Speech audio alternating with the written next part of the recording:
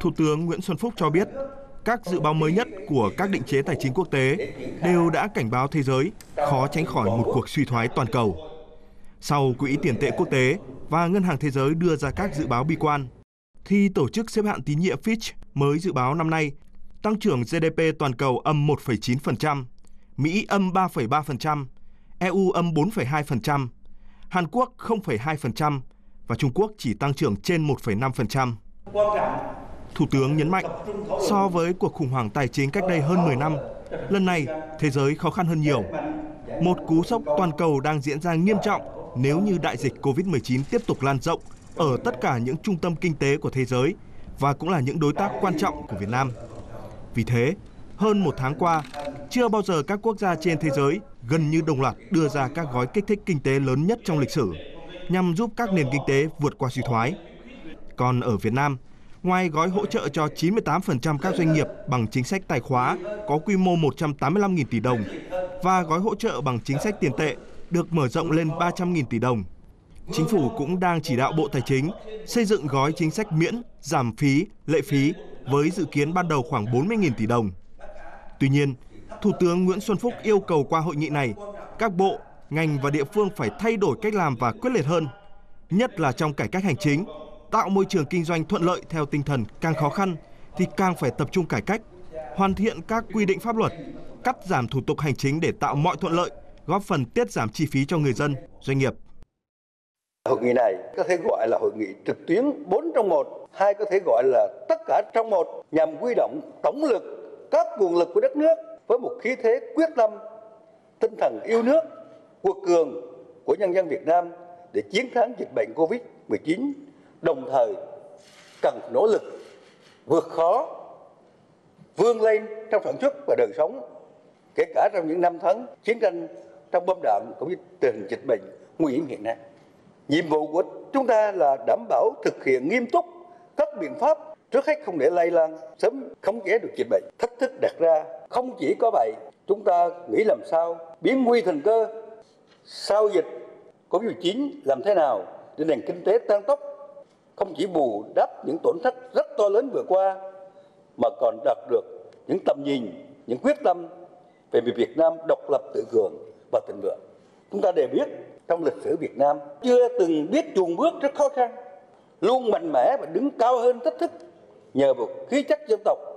sự quyết tâm, đồng thuận trên dưới một lòng. Điều này đã và cần được phát huy không chỉ trong nỗ lực phòng chống Covid-19 và ngay trong thời gian đến khắc phục sự đổ gãy của nền kinh tế. Tôi xin phép được thay mặt các đồng chí lãnh đạo một lần nữa tỏ lòng biết ơn tất cả người dân chúng ta đã đồng hành, chia sẻ và thông cảm với chính phủ những bất tiện do giãn cách xã hội tạo ra để ngăn ngừa dịch bệnh. Đồng thời, chúng ta cần thấy được sự cố gắng vượt qua khó khăn và cuộc quyết liệt của cả hệ thống chính trị, các cấp các ngành, chính quyền địa phương, của doanh nghiệp, đặc biệt trong việc giữ cái hệ số tăng trưởng không bị âm này và lo toan cho người dân, cho người lao động trong cả nước. Hẳn tín nhiệm Fitch vẫn giữ hẳn tín nhiệm của Việt Nam BB và họ dự báo nếu chúng ta chỉ đạo tốt thì năm 2021 Việt Nam sẽ tăng trưởng ở mức 7,3%. Cha đẻ thuyết tiến hóa Darwin đã nói không phải loài mạnh nhất sẽ sống sót thay vào đó loài có khả năng thích ứng trước sự thay đổi tốt nhất mới là loài sống sót cái sự thích ứng, sự quyết tâm của chúng ta rất quan trọng để vượt qua thách thức khó khăn hiện nay của toàn cầu và ở trong nước. Chúng ta phân đấu là đến cuối tháng năm thì các cơ sở sản xuất kinh doanh phải tổ chức lại sản xuất để thích ứng với tình trạng là có nguy cơ có bị nhiễm nhưng mà không có dịch. Xung quanh người ta vẫn bị dịch, cho nên khách du lịch thì sẽ thiếu một thời gian. Xuất khẩu khó khăn vì họ không có mua họ không có mua những cái hàng họ không cần, nhưng mà xuất khẩu lương thực thì có thể được rất cần một số hàng y tế này khác. Theo chúng tôi thấy rằng là như vậy chúng ta có thể là cuối quý 2 để chuyển trạng thái đất nước sang là trạng thái mới. Với cách điều hành của chính phủ, thủ tướng chính phủ như hiện nay, thì chúng ta chắc chắn rằng là Việt Nam chúng ta sẽ kiểm soát và kết thúc dịch bệnh rất là sớm. Khi mà chúng ta kết thúc được dịch bệnh rồi, nhưng mà các nước trên thế giới vẫn còn dịch bệnh. Thì có nghĩa là các cái đường may và các hoạt động đối ngoại, cũng như là phát triển kinh tế xã hội chúng ta sẽ ở cái phạm vi nhất định.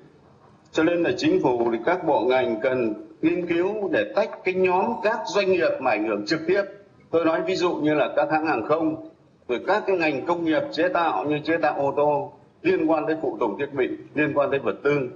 thì có một cái chiến lược để hỗ trợ cái nhóm này riêng ra tại thời điểm này thì chính phủ và thủ tướng chính phủ cần có những cái quyết định bứt phá và theo cái lệnh khẩn cấp chúng ta đã có nghị quyết rồi như hai cái đường băng của hai sân bay Tân Sơn Nhất và Nội Bài đấy chỉ định thầu hay là giao thầu đồng thời là dự toán đơn giá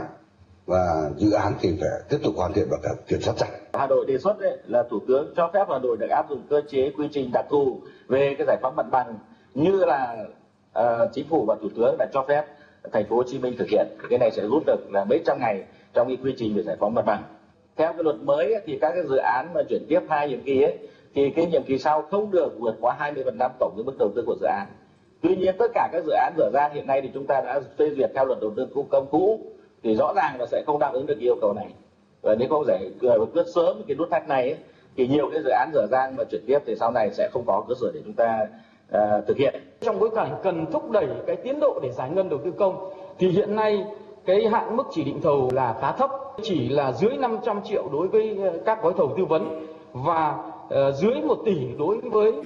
các gói thầu về xây lắp thiết bị và mỗi một gói thầu nếu chúng ta không chỉ định được thì uh, phải mất là 45 ngày như vậy nếu hai gói thầu thì đã mất 90 ngày để thực hiện các cái công tác đấu thầu rồi. Còn nếu ba gói thầu thì báo cáo với thủ tướng là mất tới 130 ngày. Các cái chuyên gia nước ngoài cũng như đánh giá của ngân hàng nhà nước nếu không có cái sự ổn định vĩ mô mà chúng ta duy trì được trong những năm vừa qua thì tác động của dịch bệnh lên nền kinh tế Việt Nam sẽ còn nghiêm trọng hơn. Và việc chúng ta tập trung kiểm soát tốt lạm phát thời gian vừa qua cũng đã góp phần rất quan trọng để giảm thiểu tác động tiêu cực đến đời sống của người dân báo cáo với Thủ tướng là đến 31 tháng 3 thì tín dụng toàn nền kinh tế từ hệ thống ngân hàng là tăng 1,3% so với đầu năm và có thể nói là đây là tín hiệu cũng tương đối là khả quan vì tín dụng uh, hầu như là không tăng trong hai tháng đầu năm nhưng bắt đầu đến tháng 3 thì đã có bước tăng trưởng như thế là cũng khá là tích cực.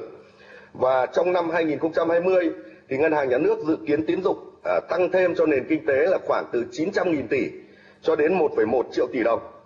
Tức là cái mức tăng chúng tôi dự báo là từ khoảng 11 đến 14% Qua đây khuyến nghị các địa phương là tránh tập trung hàng hóa nông sản lên quá nhiều vào biên giới vào thời điểm này và phải bám sát theo dõi những cái yêu cầu và chỉ đạo của các bộ trong đó, có bộ công thương và bộ nông nghiệp và giới hạn cái khối lượng xuất khẩu gạo tháng tư là 400 ngàn tấn cái điều này cũng có thể vừa đảm bảo được cái điều chỉnh à, và chủ động trong đảm bảo an ninh lương thực quốc gia, nhưng đồng thời cũng vẫn đảm bảo là giải tỏa được cho những cái hợp đồng đã ký kết và thực thi để tránh thiệt hại cho doanh nghiệp, nhưng và đồng thời giữ cái giá lúa cho người dân.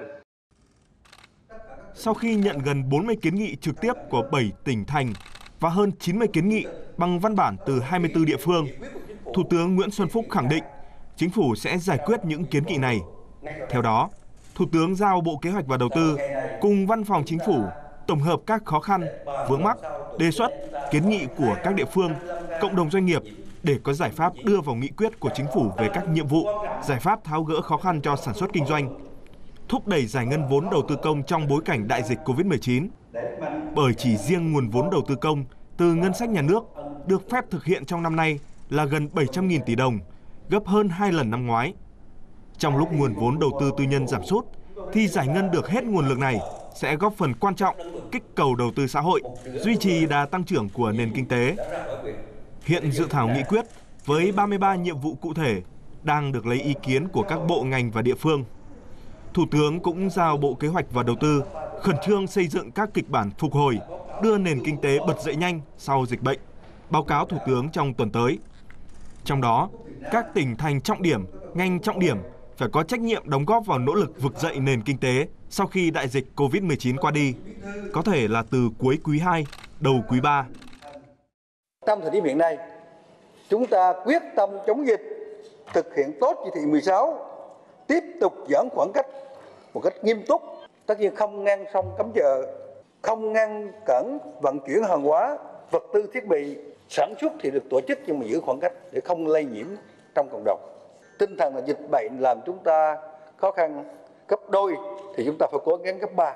Và vừa qua thì cái tinh thần ấy đã được đảng ta, nhà nước ta quán triệt lãnh đạo rất là tốt. Hưởng ứng của mặt trận tổ quốc Việt Nam, hưởng ứng cơ quan tư pháp, sự ủng hộ của thường vụ quốc hội, của các ủy ban quốc hội, đồng thành, đồng tâm, hiệp lực với chính phủ trong xử lý công việc. Quý 1 chúng ta tăng trưởng 3,82%, đáng khích lệ trong bối cảnh quốc tế nhưng thấp quá, nhất là một số địa bàn, một số trọng điểm quá thấp. Chúng ta phải tự suy nghĩ cái này để phấn đấu tốt hơn. Cho nên, cùng một quyết tâm, cái chỉ đạo chúng ta phải cụ thể, sáng tạo hơn, trên tinh thần biến nguy cơ thành thời cơ. Thủ tướng Nguyễn Xuân Phúc yêu cầu các tỉnh, thành và một số ngành có đóng góp lớn vào tăng trưởng kinh tế của cả nước cần tập trung sức lực hơn nữa, tháo gỡ khó khăn cho doanh nghiệp và chấm dứt tình trạng trì trệ, chậm trễ như vừa qua. Trong đó, phải tập trung đổi mới cách làm, phải thay đổi thói quen, đi cùng với xử lý nghiêm những cá nhân tổ chức chậm chạp trong hành động, vô trách nhiệm trong việc tháo gỡ khó khăn cho sản xuất kinh doanh và đầu tư. Vì theo Thủ tướng, có một số địa phương đang kéo dài tình trạng trì trệ, mãi không chịu làm. Thủ tướng cũng đề nghị truyền thông phải tạo nên động lực mới, tạo sự đồng lòng, nhất trí và khí thế mới trong nhân dân và cộng đồng doanh nghiệp, quyết tâm vượt khó đi lên, bảo đảm sản xuất, đời sống và ổn định xã hội để thực hiện mục tiêu kép vừa đẩy lùi dịch bệnh và phát triển kinh tế xã hội.